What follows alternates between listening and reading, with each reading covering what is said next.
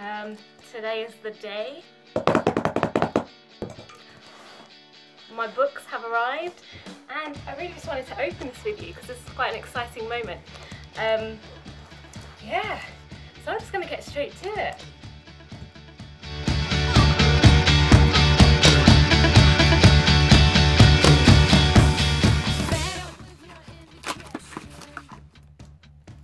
really excited just to see how these have come out.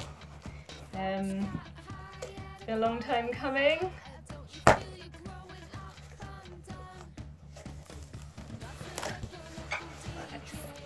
All right.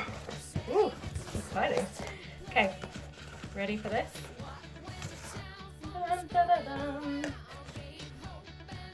Nice.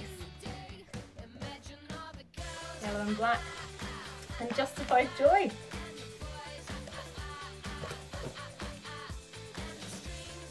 So nice.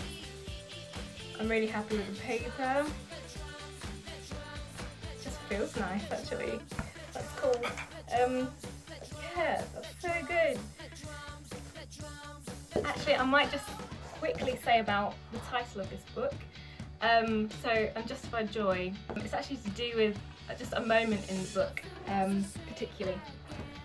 That, you know, often we, joy comes with a reason. Um, we feel joyful because we that there's a reason for it, whether it's things are going well or, um, you know, you just you're having a party. Whatever it is, like when we feel joyful, usually there's a reason for it. And there's just a moment in this book where there really was no reason to feel joyful. Um, in fact, I had all, I was very justified to not feel joyful at all. Things were not going well.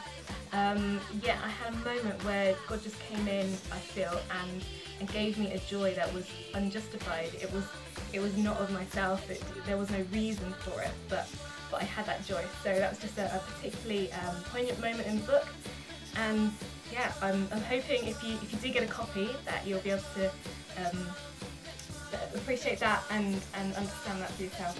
Thank you so much and hopefully I'll have another video coming out soon um, with whatever's next.